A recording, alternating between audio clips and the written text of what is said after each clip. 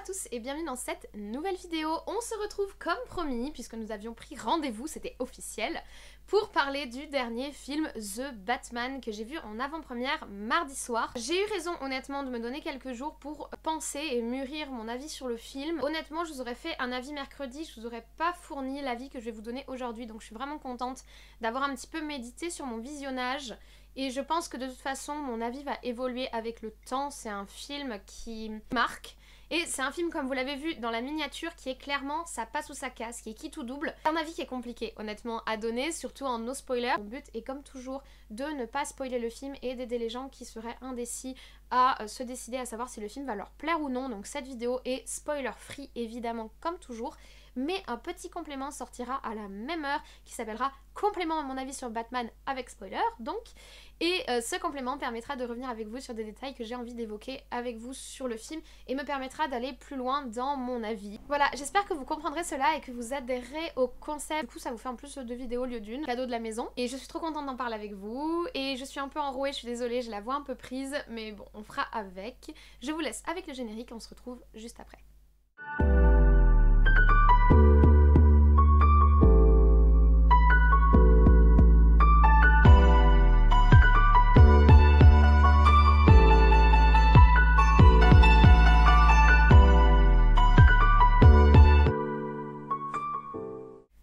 Le film The Batman qui dure 2h55, c'est un très gros bébé, on va dire 3 heures pour arrondir, est sorti ce 2 mars 2022. Il était très attendu et ce depuis 2015-2016 où on avait eu les premiers prémices d'un retour du Batman au cinéma. Il est réalisé par Matt Reeves. Alors Matt Reeves, il a fait de très très bons films, notamment Cloverfield que j'adore.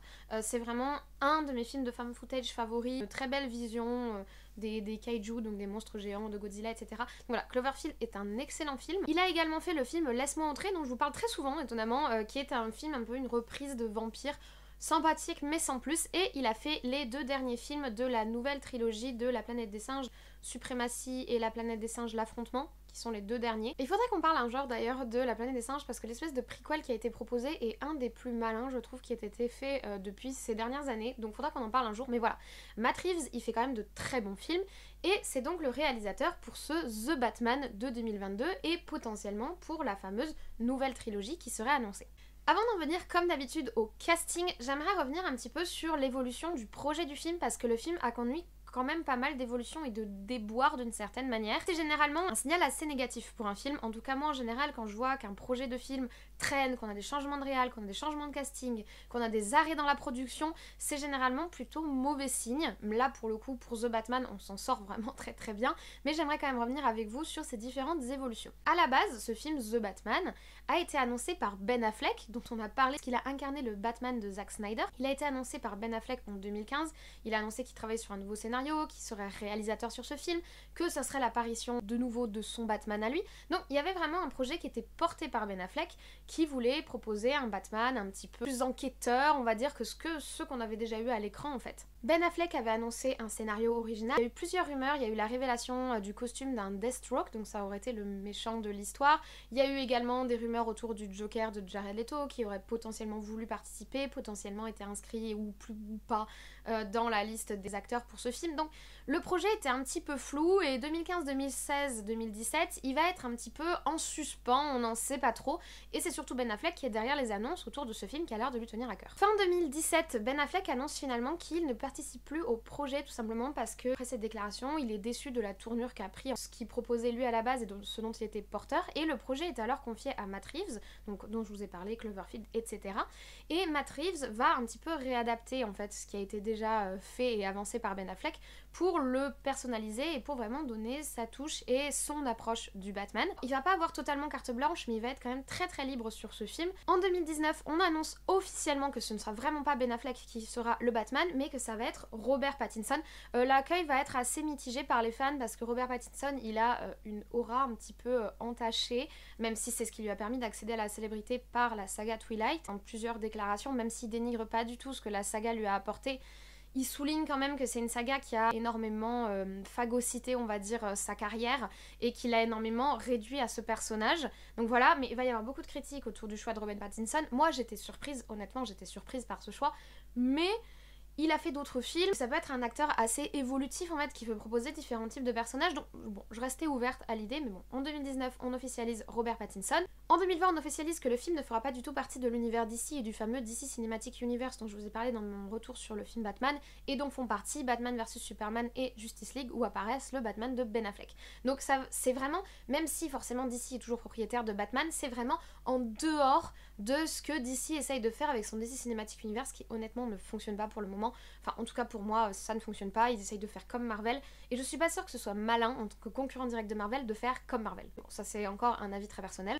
Le tournage du film va commencer en janvier 2020, les déboires ne sont pas finis puisqu'on est en pleine période de Covid, le tournage va être arrêté pendant 6 mois, il va reprendre en septembre, Robert Pattinson va choper le Covid, donc il va être re en pause pendant un mois. Donc vraiment, entre 2015 et la sortie en 2022, le film a vraiment vécu des péripéties. Et moi, en général, c'est le genre de choses qui me met un petit drapeau rouge en disant oulala, beaucoup de gens différents travaillent sur ce film, beaucoup de, de stop, de, de remise en question, de machin. C'est jamais très très bon signe, je trouve. En tout cas, moi, c'est vraiment quelque chose qui me refroidit sur un projet. Mais quand la première BA est sortie, et c'est la seule que j'ai vue, et vous avez été beaucoup à me reprocher dans ma vidéo sur Batman de pas avoir parlé du pingouin, etc. Mais je savais pas qui serait dedans, donc vous m'avez tous euh, spoilé l'info. Mais moi j'ai juste regardé les premières images, le premier trailer qui a été annoncé. J'ai vu le premier trailer, j'ai vu l'ambiance, et je me suis dit, ok, tu n'avais pas d'attente, maintenant tu en as parce que le projet a l'air de tenir la route. Et vraiment, vraiment, je trouve que par rapport à l'historique du film, ils ont fait un boulot de dingue. Tout ce marasme qu'il y a eu pendant 6 ans, il ne se voit pas du tout dans le projet final. Donc Matt Reeves a vraiment, je pense, complètement refait le projet et complètement redonné sa propre identité au projet. Et je trouve ça très très bien et j'en suis vraiment très très contente sur ce point-là. C'était une inquiétude que j'avais et vraiment de ce côté-là, c'est bien. Parlons du coup du casting, je vous ai un petit peu introduit. Donc le Batman est incarné par Robert Pattinson. Robert Pattinson, on le connaît comme je vous l'ai dit par Twilight, mais également par son incarnation de Diggory dans les films Harry Potter. Il a fait d'autres films, il a fait De l'eau pour les éléphants par exemple, où il, est, il essaye de se donner une autre image. Et surtout, durant les 10 ans qui vont s'écouler après Twilight, il va essayer vraiment de faire sa mue de ce film qui lui colle à la peau. Il va devenir égérie Dior, il essaye de donner un côté un peu plus euh, classe, un peu moins cheap qu'on peut avoir dans la saga Twilight. Et moi, pour moi, il a réussi. Et ce film, The Batman, marque vraiment un tournant pour lui parce que je pense qu'il avait besoin de quelque chose d'aussi fort qu'une incarnation bah, d'un héros iconique comme Batman pour donner un tournant réel et final à sa carrière. Et je suis vraiment très contente pour lui parce que c'est un bon acteur, vraiment. Mais euh, sa malédiction Twilight lui colle à la peau, c'est assez triste. Il partage l'écran avec Zoé Kravitz qui joue notre euh, Catwoman et qui est une très très bonne Catwoman. Je suis vraiment super contente. Pour moi, Catwoman, c'est une euh, princesse BDSM un petit peu. Et là, on est vraiment là-dedans. Elle, elle a vraiment un truc ultra félin, ultra sensuel, ultra cuir moustache. Elle reste classe. C'est pas une Catwoman de Wish, elle reste classe, mais elle est pas euh, petite fille en bourgeoisée de la Catwoman de Nolan, de Anna que moi j'ai pas aimé. Elle a pas ce côté euh, surpompeux, ça reste une fille de basse classe, ça reste une fille des rues, mais qui euh, s'élève de par ses qualités en matière de, bah, de de combattante et de voleuse. Vraiment, je suis extrêmement charmée par cette Catwoman euh, de Zoé Kravitz. C'est, elle est très très réussie et j'en suis très contente. On a ensuite Colin Farrell qui est méconnaissable en Cobblepot le pingouin. Oh bébé pingouin, je suis tellement contente de l'avoir vu, j'adore ce personnage, je vous en ai parlé. Et je trouve que déjà le travail qui a été fait sur son costume et son visuel sont ouf. Et je trouve qu'il le joue tellement bien. Parce que le pingouin, c'est pas un mec charismatique à proprement parler. C'est quand même un mec qui euh, détale quand il est pas en position de force. Et je trouve que là, il est vraiment fin, il est vraiment bien incarné, il est vraiment bien écrit. Qu'est-ce que j'étais contente de ce pingouin. Je suis vraiment heureuse. Et apparemment, il y a des rumeurs comme quoi il va y avoir une série du coup qui va suivre le pingouin et qui découlerait de cet univers du The Batman. Mais je signe, si c'est ça qu'on a, si c'est cette ambiance Gotham qu'on a, je signe direct parce que je l'adore. En plus, ils ont mis les twins, j'ai trouvé ça cool aussi, la petite ref. Donc voilà, franchement, le pingouin, rien à dire également. On arrive sur deux castings où je suis moins convaincue. On a Andy Serkis en Alfred. Andy Serkis, c'est Gollum. Euh, voilà. J'ai pas été convaincue. Pour moi, Alfred, c'est un British man. C'est vraiment le majordome à l'anglaise. Il faut qu'il sorte de Downton Abbey, le mec. Et euh, Michael Caine l'incarnait vachement bien. Et j'ai trouvé que là, on n'avait pas ça. Même si la relation qui est ici entre les deux personnages est très très belle. Pour moi, on n'a pas ça. Donc ça m'a un petit peu déçue. Je suis désolée pour Andy Serkis, qui est un très bon acteur. Mais Non, non, c'est pas passé pour moi. Et il y a un autre personnage pour lequel c'est pas passé, c'est l'acteur qui incarne Gordon. On choisit Jeffrey Wright. Alors Jeffrey Wright, il a joué dans la saga James Bond, dans Quantum of Solace par exemple, mais n'incarne pas. Alors là, pour moi, c'est plus un problème d'écriture pour le coup, mais il n'incarne pas Gordon. Gordon, c'est un mec torturé qui essaye désespérément de garder son intégrité. C'est un mec désespéré, Gordon. Il est vraiment, il est en souffrance. C'est un policier en souffrance parce qu'il est un des rares policiers droit dans ses bottes. Et là, je sais pas du tout ce que ça m'a envoyé, vraiment, vraiment pas du tout. Il y a un problème d'écriture, il y a peut-être un problème de casting. En tout cas, ce personnage, c'est le seul, c'est vraiment le seul. Donc c'est le seul bémol que j'ai au niveau casting où j'ai pas du tout accroché ni à l'écriture ni à l'incarnation qui est proposée. Je ne vous donne pas euh, l'acteur de euh, l'homme mystère puisque bah, je préfère garder le mystère. Mais je trouve également qu'il est extrêmement bien choisi, euh, même si j'ai émis des petites retenues dans le film, au final, top, top, top, top, top, top, top. C'est exactement ça. En fait, je ne savais pas que c'est ça que je voulais en homme mystère, mais c'est ça que je voulais. Et j'ai trouvé ça top. Donc, casting de rêve, casting en or, casting qu'on n'aurait jamais dû remettre en question parce qu'au final, ça fonctionne hyper bien et je suis hyper convaincue. À part quelques bémols et qui sont secondaires au final et qui sont euh, chipotés pour chipoter, super casting, super incarnation, super direction d'acteur, super acteurs.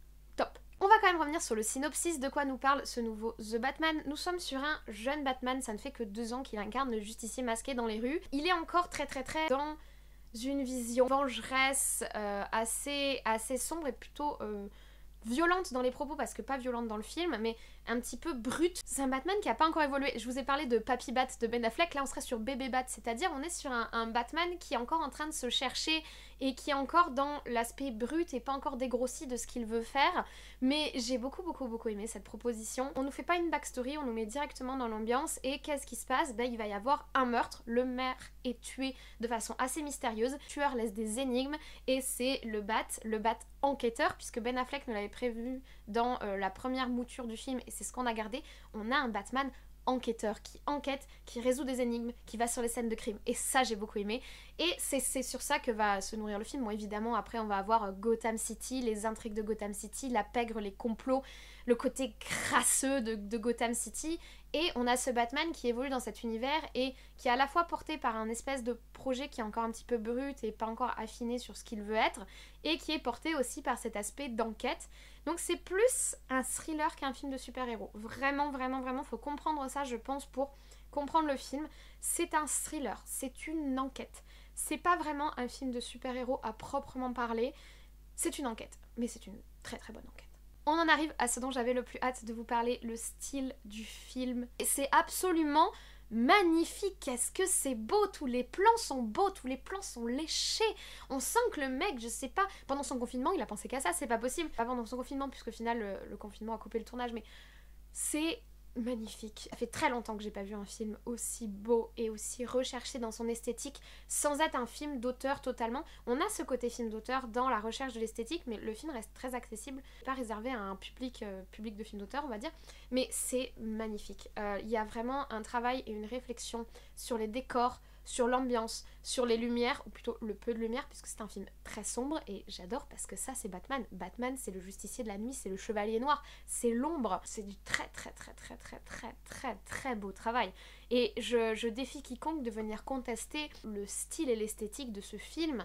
C'est, ce sont des choix, effectivement, c'est pas des choix que tout le monde ferait, mais ça se tient du début à la fin. Là où Nolan nous proposait une esthétique et un Gotham très réaliste, avec une alternance entre un Bruce Wayne de jour, donc avec des visuels de Gotham de jour, et un Batman de nuit, et des visuels de Gotham de nuit, mais plutôt propres au final.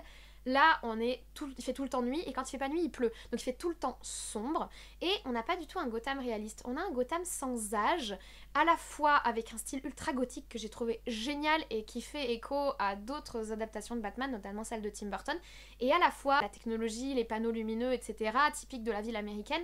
On a vraiment un Gotham qui est sans âge. Tu peux pas dire quand est-ce que ça se passe en fait. Oui, ils ont des téléphones portables modernes, mais ils ont des styles de bâtiments ultra à l'ancienne gothique c'est la ville est à moitié en construction et il y a ces petites ruelles sombres, mais à la fois on t'en dit pas grand chose, on te dit pas où en est Gautam dans sa vie. C'est vraiment comme un suspens. Des visuels qui sont incroyables. Des fois, ils, montent sur les tours. On a pas mal de plans en hauteur où on est toujours en, mode crépusculaire. On est toujours en ciel euh, d'entre-deux, entre nuit et jour. On sait pas si c'est le matin ou le soir d'ailleurs. On, est un peu flou au niveau de la temporalité. On sait pas combien de jours c'est cool Enfin, on le sait parce qu'il nous donne deux dates en début et en fin de film. Mais au final, euh, toi, t'es perdu. Il n'y a pas de temporalité. Il fait ni, nuit ni jour. Il fait tout le temps sombre, froid et humide. Et c'est Gotham. C'est Gotham. C'est ça, Gotham. Je trouve qu'ils ont vraiment réussi à créer l'essence de cette ville imaginaire et pourtant réaliste. Là où euh, Nolan nous a vraiment proposé une trilogie extrêmement réaliste, et je suis quand même très attachée à cette approche, là on montre une esthétique comics en fait. J'ai eu l'impression de voir un comics à l'image, ce côté noir, blanc, rouge et bleu. Euh, on a vraiment un, code couleur extrêmement limité euh, dans le film, hein. c'est noir, blanc, rouge et bleu, et c'est souvent noir et rouge d'ailleurs. On est très limité en colorimétrie, j'ai vraiment eu l'impression de voir une BD sombre des années 60 mise à l'image et je trouve que c'est très très très malin et en plus c'est complètement différent de ce qu'on nous a déjà proposé au niveau de Batman. On a déjà 10 films Batman, il faut réussir à se renouveler et là on renouvelle visuellement, on renouvelle totalement. Au niveau de l'ambiance, je pense que euh, Matt Reeves a dû se visionner un paquet de thrillers sombres euh, avant de faire le film. Pour moi il y a vraiment des inspirations de, thrillers comme Prisoners de Denis de Villeneuve, je sais pas si vous l'avez vu, il est excellent, où on a vraiment un côté voilà très sombre euh, et il y a aussi un côté euh, Seven. Seven de Fincher. Pareil, vraiment, je trouve qu'il y a ce côté thriller sombre, ultra violent, mais la subtilité de celui-là qui est proposé par Matt c'est que c'est on ne voit pas la violence. Là où dans Prisoners ou dans Seven, on ne fait que ça, de voir de la violence quasiment. Là, il y a ce côté ultra sombre, ultra glauco, pas bien, tu vois. T'as une ambiance malsaine, en fait, c'est malsain, mais il n'y a pas du tout la violence. Là, pour le coup, il n'y a pas le moindre gore. Bon, c'est un petit peu une déception d'ailleurs pour moi, mais il n'y a pas du tout cet aspect violent. Mais il y a vraiment cette esthétique thriller noir, film noir thriller noir. Il y a vraiment ce côté-là, et j'ai trouvé ça vraiment malin de le coller à l'image du Batman parce que pour le coup, ça fonctionne de ouf. esthétiquement, ça fonctionne de ouf. Si la dimension enquête est très présente, il y a aussi une dimension d'action, bon, qui est moins présente. Hein. Je dirais pas, j'irais pas jusqu'à dire que c'est un film d'action d'ailleurs, au vu de la proportionnelle entre scènes d'action et scènes plutôt réflexives, plutôt posées. Mais il y a quelques scènes d'action qui sont magnifiques. La course poursuite est incroyable. Euh, vraiment, j'avais des frissons, quoi. J'étais à fond. Je devais, je devais sourire comme une gamine. Heureusement qu'il fait noir dans les salles de cinéma parce que je dois faire des ridicule quand je suis trop investie dans les films. La course poursuite est incroyable, euh, une scène dans, dans, un couloir sombre où on ne voit que les tirs, incroyable aussi. Vraiment, il y a de très beaux visuels, comme je vous ai dit, les visuels quand ils sont en hauteur, où on a tout le temps ce ciel euh, d'entre-deux, c'est très très beau. Les panneaux lumineux, les, les, néons, les annonces, les reflets sur les flaques de pluie, début, euh, soirée d'Halloween. Enfin, vraiment, j'ai trouvé qu'il y avait plein de trucs extrêmement malins, extrêmement beaux, extrêmement bien mis en scène. J'étais vraiment, visuellement, j'en ai pris, mais plein la vue. Et ça fait plaisir, quoi. Ça fait plaisir qu'on nous serve un film comme ça. Et ça fait plaisir parce qu'il y a une unité sur tout le film, alors que le film a vécu les péripéties dont je vous ai parlé. Au niveau du soundtrack, euh, on est également très très bien. Alors, il n'y a qu'un seul thème. alors, il n'y a pas énormément de musique différente. Il y a un thème, mais le thème est excellent. Il est complètement. Il, se transforme en fait. En fonction de l'action, en fonction de l'image, le thème s'adapte en fait. La musique, c'est toujours le même thème, mais le thème suit et s'adapte aux différentes phases d'action. Je trouvais que le thème est euh, assez charismatique. Je pense qu'il va rentrer dans la légende, clairement. C'est vraiment une musique extrêmement reconnaissable. En plus, qu'on nous bombarde pendant 3 heures, donc forcément ça finit par rentrer. Maintenant voilà, c'est sûr qu'on va pas avoir des compositions euh, exceptionnelles puisqu'on n'a qu'un seul thème, mais je trouve que le thème récurrent est très intéressant et le fait d'avoir voulu être un petit peu monocorde musicalement, c'est aussi un choix qui s'associe bien au choix esthétique, puisqu'on est aussi monocorde visuellement, puisqu'on est toujours dans le noir, le sombre, le humide. Donc ça, ça, se tient en fait au niveau de la logique. Dernier point au niveau des costumes. Alors j'ai beaucoup aimé le costume du Bat, même si j'aimerais en savoir plus, matière, etc. Euh, il a un costume très lourdingue. Alors c'est vrai que Robert Pattinson a pas une carrure de frigo euh, comme peut l'avoir Ben Affleck dans, sa, dans son Batman à lui. Hein. Il est plutôt, euh, plutôt finaux. donc oui, il y avait cette inquiétude là, mais l'armure et le costume de Batman lui donnent vraiment une incarnation et une présence physique. Il, a quand même, il incarne quelque chose. Maintenant voilà, j'aurais aimé. Bon, il n'y a pas beaucoup de gadgets, ça, ça m'a pas du tout dérangé. Le gadget de Batman, c'est pas trop mon truc, euh, j'avoue. Vraiment, pas...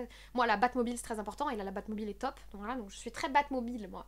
Euh, les gadgets, je m'en fiche un peu, mais Batmobile, c'est important. Et la Batmobile est. L'apparition de la Batmobile. Oh mon dieu, j'avais des frissons, j'étais contente quand elle est apparue! C'était vraiment très très bien. Mais au niveau du costume de Catwoman, bon, évidemment, il y a cette espèce de. Je pense que tout le monde va en parler, mais cette espèce de, de masque chelou qu'ils lui ont fait. Qui colle avec le max de Catwoman, mais ils auraient juste dû lui faire une cagoule, ça aurait été plus simple. Mais bon, le costume de Catwoman, euh, top. Euh, le travail qui a été fait sur le pingouin est intéressant. Le travail sur la pègre avec euh, les, choix de costume de la pègre est intéressant également. Donc franchement, de ce côté-là, très très très très très contente également. Donc on en arrive à mon avis. Alors d'abord les points négatifs parce qu'il y en a. C'est vrai quand je suis sortie du film, j'avais un peu je m'étais pris une grosse claque et j'ai adoré. De toute façon, j'ai beaucoup, beaucoup, beaucoup, beaucoup aimé le film. Mais sur le moment, je voyais pas énormément de points négatifs en fait, hormis évidemment le point négatif évident qui est la longueur du film. 3 heures, c'est très long. Après, moi, ça me dérange pas particulièrement. Je l'ai dit, par exemple, pour Dune, ça m'a pas gêné. Le film a des longueurs. Le film a des problèmes de rythme. En fait, on commence euh, brut, qu'il n'y a pas de backstory, on commence de façon très abrupte. Euh, et donc, du coup, là, notre attention est à fond, puisqu'on découvre tout d'un coup. Et ensuite, sur la période d'enquête, ça tombe vraiment au niveau du rythme. C'est lent, aller de scène en scène, beaucoup de dialogues, beaucoup de monologues aussi. On s'écoute un peu, le film s'écoute un peu, les énigmes sont pas super stimulantes, ça aussi c'est un point négatif. J'ai trouvé que les énigmes étaient pas fifolles honnêtement. Enfin, moi-même, en fait, j'ai fait aucun effort de réflexion pour les énigmes, voilà. Et ensuite, à la fin, boum Là, ça remonte d'un coup et t'as de l'action partout. Mais il y a vraiment une longue période où il se passe pas grand chose. Je pense que vraiment, au niveau du rythme, il y a quelque chose qui aurait peut-être pu aider, je sais pas. C'est là peut-être que la violence aurait pu aider, par exemple. Parce que dans un film comme Seven, par exemple, qui est quand même une enquête longue et un petit peu fastidieuse, on vient réveiller le spectateur avec du visuel hyper percutant, hyper violent, etc., hyper gore. Et là, peut-être que ça manque pour essayer de. Pourtant, il se passe des trucs hyper gore, mais on ne nous les montre pas il, se passe des choses dans l'histoire qui sont hyper violentes, mais on ne les voit pas à l'image. Et peut-être que ça, ça aurait ravivé l'intérêt, ça aurait ravivé le, spectateur, genre, eh oh, il se passe des trucs Je sais pas, ça vraiment c'est dommage. Moi j'aurais aimé que le film soit beaucoup plus gore, j'aurais aimé beaucoup. Et je m'attendais, au vu de l'esthétique qu'on m'a vendu hyper noir, hyper sombre, je m'attendais à vraiment quelque chose d'hyper noir et d'hyper sombre, avec du violent j'ai été déçue de ce côté-là. J'aurais voulu beaucoup plus de violence, euh, j'aurais voulu qu'il me fasse un film moins de 16. De toute façon, le film ne s'adresse pas à un jeune public, je pense. C'est un film d'une grande maturité. Moi, c'est à la fois un point négatif et un point positif. C'est un point positif parce que je pense que c'est un film qui, là où j'en suis actuellement dans la démarche cinématographique et dans ma connaissance du cinéma, c'est un film qui, qui me parle là où j'en suis. Maintenant, la moi de 14 ans qui aurait découvert ce Batman-là, je me serais ennuyée je pense. Plus le fait qu'il n'y ait pas de violence, le jeune public, euh, même si on leur interdit le film, vous savez ce que c'est, va être attiré et va être percuté par quelque chose d'un petit peu violent. Vouloir rendre le film Peggy 12 euh, alors que la parole du film et le message du film ne s'adressent pas à un jeune public, je vois pas l'intérêt. Ils auraient pu y aller franco, interdire le film au moins de 16 ans et nous balancer du sang quoi. je les vois tellement dans cette ambiance noire, les néons qui se reflètent sur une flaque rouge de sang, avec les Docs Martins de Batman qui marchent dedans. Je vois ça. Et j'aurais voulu ça dans le film. Et ça, ça m'a manqué. Ça manque de violence pour moi. J'aurais aimé un, Batman plus violent. Pas tueur, mais un Batman plus violent. Voilà. Euh, ça, vraiment, c'est un gros point négatif pour moi. Et également cette histoire de public, même si moi c'est pas négatif puisque je suis, je pense, la cible de ce film. C'est sûr que les jeunes qui vont découvrir Batman avec cette version-là de Batman qui sort actuellement, je sais pas s'ils m'ont accroché, honnêtement.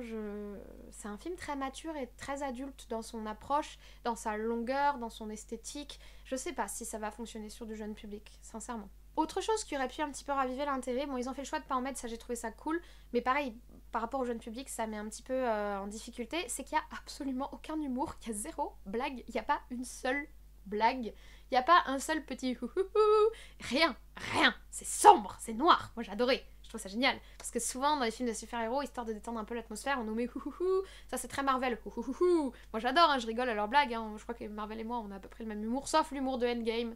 L'humour de Endgame était affligeant. Mais globalement, j'aime bien la petite dose d'humour dans le film de super-héros. Mais là, pour le coup, le fait qu'il n'y en ait pas, ça colle tellement au film. Mais là encore, c'est un truc qui pourrait raviver l'intérêt du spectateur que l'on n'a pas, qui pourrait raviver l'intérêt du jeune spectateur que l'on n'a pas. Il y a il y a des choix qui m'ont plu, mais qui, je pense, desservent le film. Je sais pas si vous voyez mon point de vue. C'est pour ça que j'ai du mal à vous expliquer mon avis sur le film. Mais voilà. Après, au niveau des points positifs, bah, les costumes, l'esthétique, l'histoire, l'évolution de Batman. Sur 3 heures, notre Batman évolue. Il n'est plus le même au début de la fin.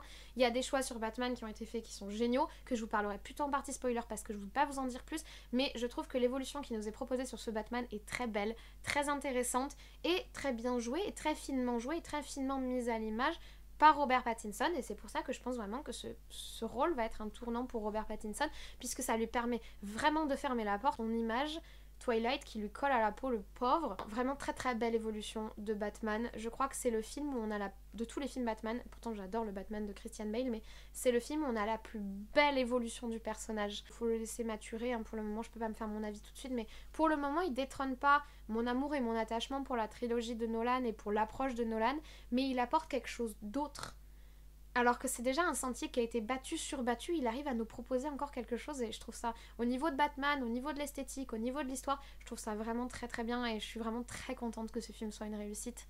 Maintenant voilà, ça plaira pas à tout le monde parce que c'est long, parce que ça a ce côté film d'auteur, parce que ça a ce côté plus enquête qu'action. Disons que c'est pas ce que des gens s'attendent à voir forcément pour un Batman et c'est pour ça que je pense que c'est un kit tout double. Il y a des gens qui sont sortis de la salle hein, pendant le film, il y a des gens qui sont partis qui sont pas revenus. Donc je pense que c'est un kit tout double, c'est-à-dire soit ça répond à un vide dans le monde du Batman et que tu t'attends à voir comblé, soit ça répond pas du tout à une attente du monde du Batman et dans ce cas-là, c'est dommage, voilà. Mais je comprends qu'il y ait des gens qui puissent ne pas du tout adhérer au film. Vraiment, je comprends. Maintenant, moi, j'ai vraiment, vraiment vraiment adoré. D'ailleurs, super hâte de le revoir. Vraiment, pendant. Il y a un petit moment, euh, bah, du coup, quand le rythme était un petit peu plus lent, ça devait faire deux heures qu'on était dans le film. À ce moment-là, je me suis dit, oh, j'ai hâte de le revoir pour voir parce que j'ai senti que j'avais raté des trucs en fait. Rien que le fait que quand je suis en train de voir le film, je me dise que j'ai envie de le revoir, rien que ça, c'est hyper bon signe. J'ai vraiment envie de le revoir. Je sais pas si j'irai le revoir au cinéma ou si j'attendrai qu'il sorte en DVD. Hâte de le revoir pour voir ce que j'ai raté parce que je suis sûre que j'ai raté des trucs. Je pense que le film est pensé, surpensé, peut-être trop pensé pour certains, mais je pense vraiment qu'il y a plein de choses qui m'ont échappé et j'ai juste très très envie de le revoir. Et c'était, malgré la longueur, c'était une excellente expérience de cinéma. Vraiment, vraiment, vraiment, j'en suis très, très, très contente. D'ailleurs, petite pensée émue pour Zack Snyder qui doit être en PLS chez lui en train de pleurer de rage parce que bah, lui, on l'a jamais laissé faire jusqu'au bout sa vision de son film de super-héros. Euh, on l'a jamais laissé faire la longueur qu'il voulait au niveau de ses films de super-héros. Et là, il a le, le film de Matt Reeves qui sort, euh, qui dure 3 heures, qui est 100% une vision hyper personnelle euh, de l'histoire, une vision hyper personnelle du scénario. Petite PLS pour Zack Snyder, le pauvre petit chou. J'espère vraiment qu'un jour on le laissera faire juste ce qu'il a envie et qu'il nous livre juste le film qu'il a envie. Je pense que c'est ce que Matt, Reeves a fait. Je pense que Matt Reeves a eu une grande, une grande liberté. C'est ce qui nous permet d'avoir quelque chose, cette espèce d'ovni un petit peu super agréable quoi et super rafraîchissant malgré la noirceur du film, clairement. Dernière chose, je suis contente parce que je pense que euh, ce film a réussi là où Eternals a échoué pour moi, c'est-à-dire à mêler le genre super-héros avec le genre film d'auteur sans que ce soit lourdingue, moralisateur et surfait comme ça l'avait été Eternals pour moi. J'ai vraiment, vraiment pas aimé Eternals. Je sais que c'est pas du tout un, avis répandu et je sais que je vais encore me faire engueuler parce que j'ai pas aimé Eternals comme film. Je l'ai revu là au début des vacances, donc il y a deux semaines. Je trouve que ce film est d'une prétention sans nom. Vraiment, je l'aime pas du tout. Pour le coup, c'est un film qui s'écoute parler, euh, Eternals. Et à l'inverse, il y a vraiment un genre film d'auteur, il y a vraiment un genre réfléchi et surréfléchi et une image léchée dans ce Batman, mais le film s'écoute pas parler et le film est quand même accessible et tu t'ennuies pas en plus. je veux dire, il y a vraiment quelque chose en plus et je pense que ce Batman a réussi là où euh, Eternals a échoué, c'est-à-dire à mêler le genre film d'auteur avec le genre super-héroïque. Après, rassurer Eternals, c'est beaucoup plus simple, je le pense, de le faire de façon sombre et dark que de le faire de façon lumineuse et pleine d'espoir comme ils ont essayé de le faire dans Eternals. Je pense que l'approche, ou alors c'est ma sensibilité plus euh, dark et désespérée qui, me, qui fait que je suis plus sensible à l'approche qui a été proposée dans The Batman, mais euh, je pense qu'ils ont vraiment mieux réussi l'exercice que Eternal. Voilà, je vous remercie d'avoir écouté mon avis. Ne fuyez pas trop vite. En parallèle de cette vidéo sortira une seconde vidéo complément où je vais parler spoiler. Il y aura un deuxième petit morceau en fait à côté déjà parce que cette vidéo est beaucoup trop longue. Juste pour pas que les gens euh, qui n'ont pas envie d'être spoilés ne soient pas spoilés, je vais sortir un petit complément qui s'appellera complément spoiler à mon avis de Batman. N'hésitez pas à le voir si vous avez vu le film et si vous avez envie qu'on parle des spoilers et que vous avez envie que je développe mon avis plus largement sur l'histoire de manière générale et sur les choses qui m'ont vraiment plu en général, surtout sur cette évolution du Batman. J'ai vraiment envie qu'on en parle ensemble. Je vous remercie de m'avoir écouté. N'hésitez pas à laisser votre avis sur le film en commentaire. N'hésitez pas à vous abonner, activer la cloche si jamais euh, vous aimez ce que je fais. Voilà. Et moi, ça me fait toujours autant plaisir de vous tourner ces vidéos. Ça me fait toujours autant plaisir ben, d'être là, de répondre à vos Je vous laisse là. N'hésitez pas à cliquer sur la vidéo de spoiler si ça vous intéresse. Je vous souhaite une très bonne journée, une très bonne semaine. Comme d'habitude, de très bons visionnages comme toujours. Et nous, on se dit à très très vite.